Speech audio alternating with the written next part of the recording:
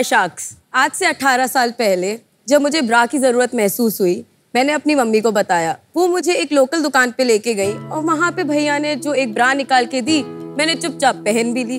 थोड़ी चुभी भी और अनकंफर्टेबल फील हुआ और शायद फिटिंग में भी गड़बड़ थी। जब मम्मी से और ऑप्शंस मांगे, उन्होंने कहा, बेटा, अब जो है, यही है, पहन लो। वहाँ से लगी एक आग कि मुझे लॉन्ड्री इंडस्ट्री में कुछ करना है और वहीं से शुरुआत होती है हमारी ब्रांड इरोटिश की। Hi I am Ayushi and I am Anushka and we are the founders of इरोटिश और हम आगरा से आते हैं। मैं हमेशा से एक प्लस साइज़ लड़की रही हूँ। अब प्लस साइज़ होने का मतलब ये तो नहीं होता ना कि मुझे स्विमवेयर पहनने का शौक नहीं है। सच पूछो तो हर लड़की की चाह है। हम्म। चाहे वो एक्सेप्ट करे ना करे कि वो अपने आप को एक अट्रैक्टिव स्विमवेयर में देखना चाहती है। है कि नहीं विनीता? एब्सोल्युटली आप ये सोचिए ना कि एक स्विमवेयर मिलना कितना मुश्किल हो जाता है कभी कभार स्पेशली हम जैसे लोगों के लिए। तभी हमने आयुषी की एक्सपर्टीज को लेकर स्विमवेयर की एक ऐसी रेंज डेवलप करी है जो इंडियन वुमेन की कर्वेशियस बॉडी को ना ही सिर्फ़ सपोर्ट भी दे, साथ ही साथ अट्रैक्टिव भी फील कराए। अब जैसे हर एक आयुषी के लिए एक अनुष्का है, वैसे लॉन्जरे के लिए बना नाइट वेयर और स्विमवेयर के लिए बनाई हमने हमारी बीच वेयर कैटेगरी लॉन्ड्रे और स्विमवेयर एक लड़की के लिए बहुत पर्सनल प्रोडक्ट्स होते हैं। और इरोटिश के द्वारा हमारा विजन है उन्हें एम्पावर और लिबरेट फील कराना और हर लड़की की स्ट्रेंथ को सेलिब्रेट करना रिगार्डलेस वो कहीं से भी आई हो। आज तक हमने इरोटिश के ज़रिए एक लाख लड़कियों को बोल्ड एंड ब्यूटीफुल फील कराया है। इसलिए आज हमारा आस्क है 75 lakhs for three percent equity so sharks are you fearless enough to be erotish Ayushi, Anushka, love the mission that you know every woman deserves to feel attractive and to feel confident. Thank thank you so much. आपने बताया आप आगरा से आए हैं right हाँ जी। तो बताइए अपनी कहानी कहाँ से शुरुआत हुई? How do you know each other पहले क्या करते थे? तो हम दोनों बहनें हैं। ओह एंड ये मुझसे ढाई साल छोटी है।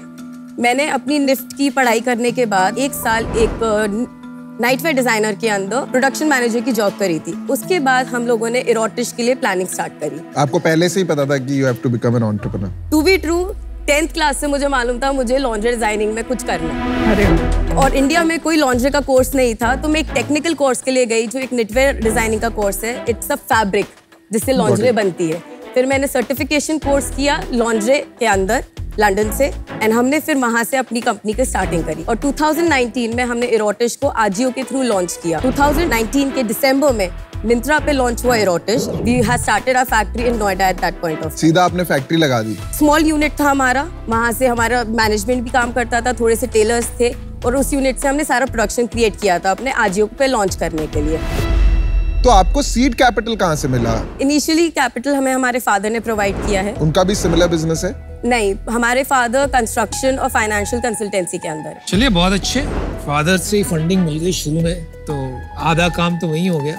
थोड़े से पापड़ भी बेलने पड़े। अच्छा। क्योंकि कैटेगरी थोड़ी सी ऐसी थी कि एक्सप्लेन करने में काफ़ी वक्त लगा था। अच्छा डैड को इतनी जल्दी समझ में नहीं आया? समझ काफ़ी कुछ आ गया था लेकिन एक सोसाइटी का टैबू ब्रेक करना अपने आप में बहुत बड़ी बात होती है। हाँ सही बात है। आपने मेहंदी लगाई है? मेरी दस दिन में शादी है। चौबीस तारीख से फ़ंक्शन चालू है। हमने एक फ़ंक्शन शिफ्ट किया आज के चक्कर में। कल पूजा थी। और आप यहाँ गए? सर प्रायोरिटी सर प्रायोरिटी मतलब ये मौका नहीं मिलेगा शादी कर लूँगी। आप टीवी पे कह रहे हो प्रायोरिटी हस्बैंड सुन रहा है। हस्बैंड तो बहुत खुश है सेलिब्रिटी से शादी हो रही है उसकी। Good luck congratulations thank you आप अपना ब्रांड का नाम आपने इरोटिश क्यों रखा? So basically the name Erotissch पहली बात तो ये किसी डिक्शनरी में है नहीं ये हम ही ने खुद बनाया है।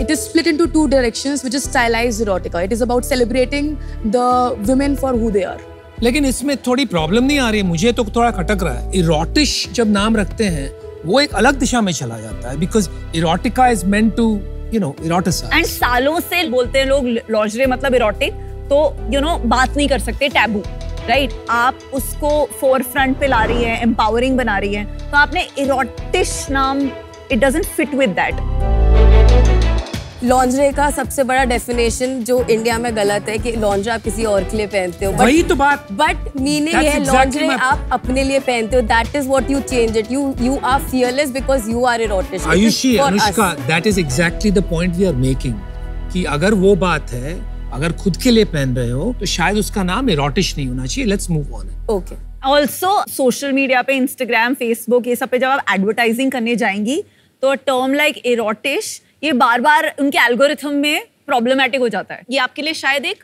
प्रैक्टिकल प्रॉब्लम हो सकती है।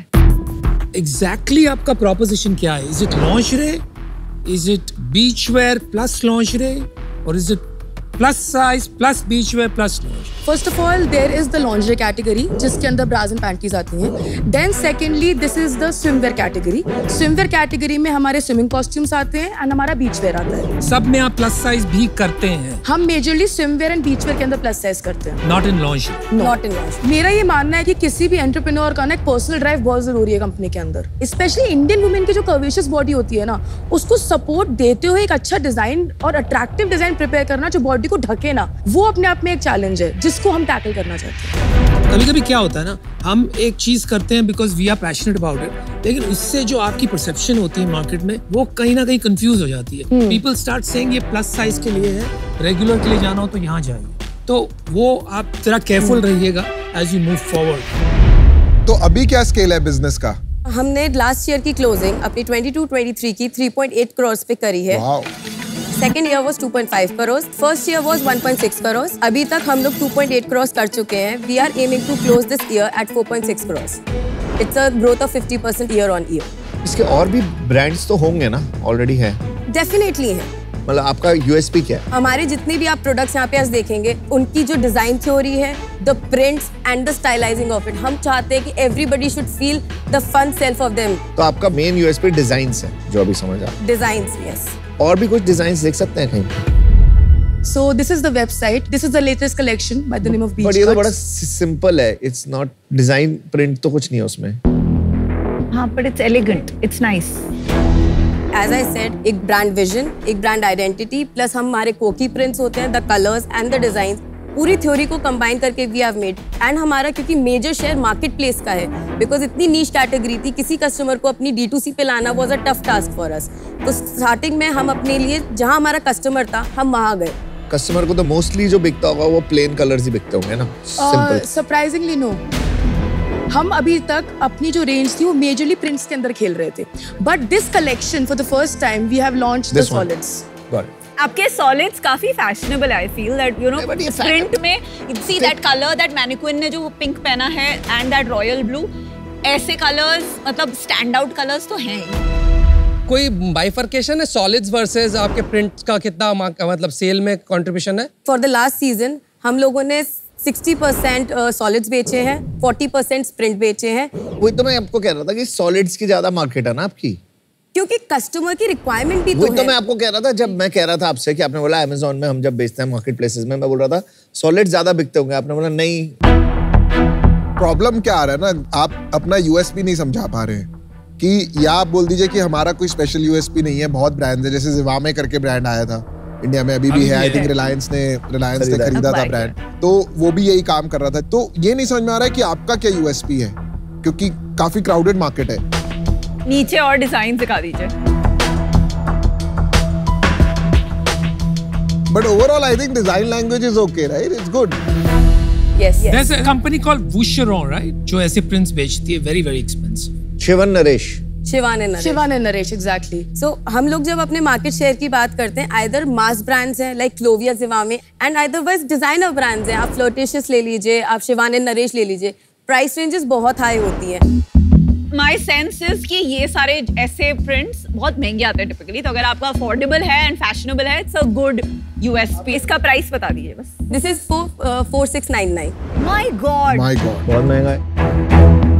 Then it is premium No, on our entire new collection, for the first month, we do not give any discounting. हमारी जो डिस्काउंटिंग जाती है वो वेलकम टेन या फ़र्स्ट परचेज के नाम पे जाती है। उसके बाद हमारे ऑफर्स चलने चालू होते हैं और इनको हम फिर मार्केट प्लेसेस पे लॉन्च करते हैं। हमारी मेजर सेल मिंत्रा से आती है जहाँ पे आपको इनकी एएसपी ऑलमोस्ट 35 टू 40 परसेंट कम पे दिखेगी एवरेज प्रोडक्ट प्राइस कितना आपके पास जो बिक रहा है? हमारे पास एवरेज ऑर्डर वैल्यू चल रही है एवरेज ऑर्डर प्राइस नहीं चल रहा।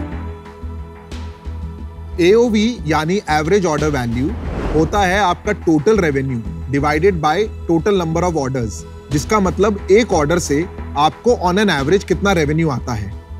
इसी के साथ एक टर्म यूज़ होता है एएसपी मतलब एवरेज सेलिंग प्राइस क्योंकि कभी कभी एक ऑर्डर में मल्टीपल यूनिट्स होते हैं, अगर आप टोटल रेवेन्यू को डिवाइडेड बाय टोटल यूनिट्स कर दें तो आपको मिलता है एएसपी यानी average selling price per unit average order value is going on 1074 that's it वो तो बहुत कम है कंपेयर टू is जो because the एक- lingerie and the bras and the panties उनका price point price point is एक ब्रा कितने की आती है? 650 टू 750 आफ्टर डिस्काउंट आपने 1074 का जो एवरेज ऑर्डर वैल्यू बताया तो बास्केट साइज़ कितने आइटम्स का होता है typically on market places it would be two तो 500 रुपए एवरेज मतलब आइटम प्राइस हो गया मोटा मोटा आपका। Item price I am sorry I do not have a clarity है पर आपकी सेल वेबसाइट से आती है मार्केट प्लेस से कितना? हमारी मेजर सेल मार्केट प्लेस से आती है। तो अभी आपकी कितनी परसेंट सेल होगी? 63 परसेंट हमारी मिंत्रा से है 17 परसेंट हमारी नायका से है 12 परसेंट अमेजोन से है और रिमेनिंग 8 परसेंट अदर्स से है।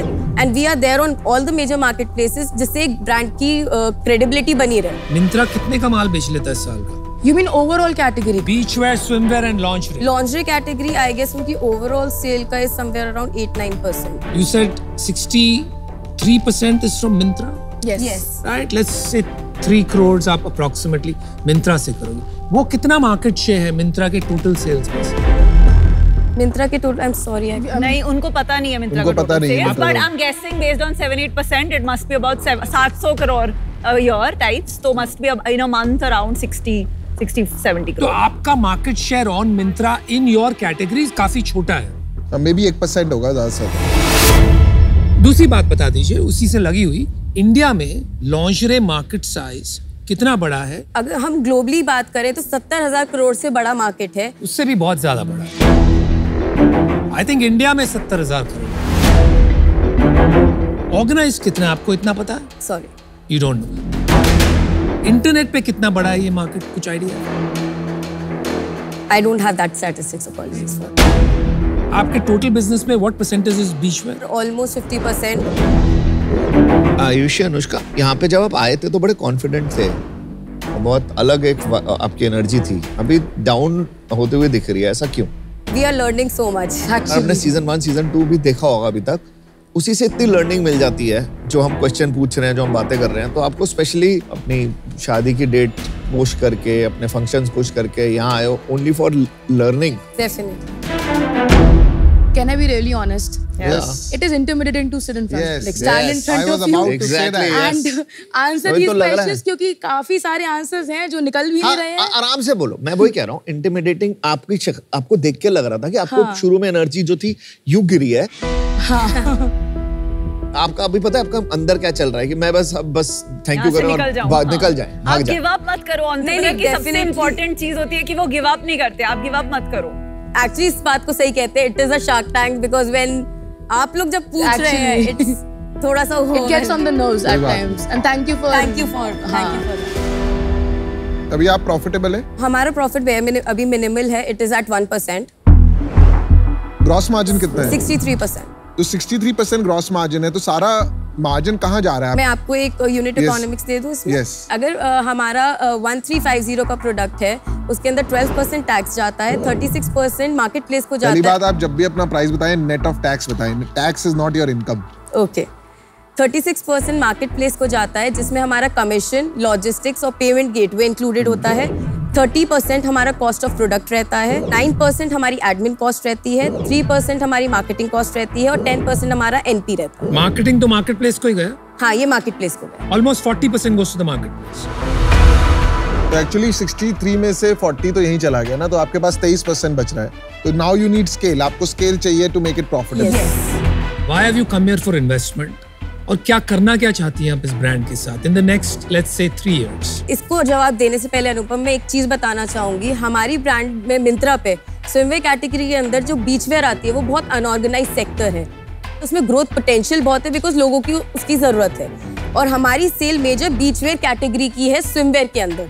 जब आपने बोला ग्रोथ पोटेंशियल बहुत है वो नंबर्स में बहुत स्ट्रांगली शो नहीं हो रहा है कहीं ना कहीं राइट इसका मतलब इनफ इंटरेस्टेड बायर्स ही नहीं है प्रोडक्ट के ना अदरवाइज़ तो बढ़ जाना चाहिए था ना। So as Aishi mentioned कि is a unorganized category, अगर हम मिंत्रा पर भी जाते हैं तो बीचवेयर एज अ कैटेगरी आपको अलग से नहीं मिलेगा जो आपके टैबलॉइड्स होते हैं उसके अंदर।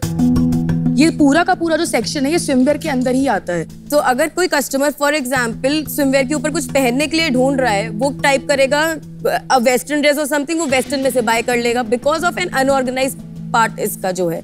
और अगर उसमें प्रॉपर कैटेगराइजेशन हम करें या प्रॉपर अवेयरनेस प्रोवाइड करें डेफिनेटली इस प्रोडक्ट की डिमांड है पर इंडिया में बीच पे सनबेदिंग का कॉन्सेप्ट ही नहीं है तो बीच वेयर इंडिया में बड़ा मार्केट हो ही नहीं सकता है ना बट आप बीच वेयर सनबेदिंग के लिए नहीं पहनते हो That's right. अगर आप अपनी ट्रॉपिकल वेकेशन पे हो आप किसी शैक पे जा रहे हो आप कहीं जा रहे हो आप वेस्टर्न वेयर नहीं पहनोगे आप जीन्स नहीं पहनना चाहोगे आप ऐसे गारमेंट्स पहनोगे That's right. Beachwear is not bikinis. Bikinis use होते हैं tan के लिए. Beachwear is पर used to इंडिया look में cool. दिखता नहीं है beachwear Beachwear पे लोग बहुत आज आप Maldives जाओ 50% population is Indian, all wearing beachwear. मुझे क्या लगता है ना आपका पैशन बहुत अच्छा है एंड आई थिंक आपको ये कैटेगरी में काम करते रहना चाहिए। मुझे थोड़ा नंबर्स आपके वीक लग रहे हैं and overall strategy you are working in three very deep categories तो आपको फोकस करके कुछ टाइम के लिए एटलीस्ट एक कैटेगरी को बड़ा बनाना चाहिए। वो चॉइस आप ही कर सकते हैं। और थोड़ा उसमें डिफरेंशिएशन पे काम करना चाहिए। और दूसरा मैं आपको एडवाइस दूँगा ये नॉन प्रॉफिटेबल जो बिज़नेस है ना अभी बिकॉज़ आप खाली मार्केट प्लेस पे चला रहे हैं समथिंग इज़ रॉन्ग या तो आपको मार्केट प्लेस पे जाके रीनेगोशिएट करना चाहिए। यही अगर 40 परसेंट जो आप उनको दे रहे हैं 30 आ जाएगा तो 10 परसेंट आपके लिए भी बचेगा। क्योंकि आप पूरी मेहनत कर रहे हैं पूरा बेनिफिट मार्केट प्लेस को मिल रहा है। आज मैं इससे बाहर हूँ बिकॉज़ ये थोड़ा अर्ली है। Maybe will meet again I think in terms of positioning and strategy, मुझे पूरी तरह नहीं समझ में आ रहा है। ना ही मुझे आपका ब्रांड नेम और कहाँ आप इसको ले जा रही हैं, वो बात पूरी तरह से समझ में आ रही है। Well done on building a good business, but today I have to be out. One piece of advice, every business does not have to become VC fund. अगर आपको इसको प्रॉफिटेबल और छोटा बनाना है मे बी आप सिर्फ़ स्विमवेयर और beachwear कीजिए, एक यूनिक ब्रांड बनाइए और यूनिक पोजीशन बनाइए with design first and that may give you a very good position in the market lingerie में बहुत कंपटीशन है और भी आ रहा है। चलिए बहुत अच्छा एडवाइस मिला आपको अनुपम से। Thank you thank you so much मैं आउट ही रहना चाहूँगा बिज़नेस से। ये सिग्निफिकेंटली ग्रो होता हुआ बिज़नेस नहीं दिख रहा है तो पर्सनली शायद एक अच्छा बिज़नेस बन सकता है। इन्वेस्टेबल बिज़नेस नहीं दिख रहा है। ये चार करोड़ का नंबर चार सौ करोड़ जाता हुआ अभी मुझे इतना इविडेंटली नहीं दिख रहा है तो इसी कारण से मैं आउट होना चाहूँगा मुझे लगता है आप ऑनलाइन मार्केट लॉन्जरे का आज भी काफ़ी छोटा है it's less than ten percent offline बहुत बड़ा है, पर आप ऑफलाइन कभी कर नहीं पाएँगी। क्योंकि आपकी जो प्राइसिंग है, वो बहुत कंफ्यूज है। अगर आप perpetually thirty five to forty percent discount पे बेचती हैं, ऑफलाइन आपको रिटेलर्स पार्टनर करेंगे ही नहीं, क्योंकि उनको समझ ही नहीं आएगा कि ये क्या इसकी एग्जैक्ट प्राइसिंग है। प्लस आपकी रेंजेस अलग अलग प्राइस बैंड में है। तो आप मॉल में दुकान खोलेंगे कि जनरल ट्रेड तो आई थिंक आज आपका जो pricing and brand strategy name मुझे काफ़ी कंफ्यूज लगा तो इसमें मैं आज आपकी मदद नहीं कर पाऊँगी। Best of luck thank you thank you so much sharks for your time भी यही लगता है कि कैटेगरी बहुत इंटरेस्टिंग है और इसमें ग्रोथ आ सकती है। यू नो अगर आप देखोगे डी टू सी में एक्विजिशंस भी जो हुई है ना रिलायंस ने भी जो करी है इस कैटेगरी में बहुत सॉलिड करी है। मुझे अभी आपका बिज़नेस नहीं समझ आया आज। मे बी आप लोग अपने आप को ठीक से प्रेजेंट नहीं कर पाए।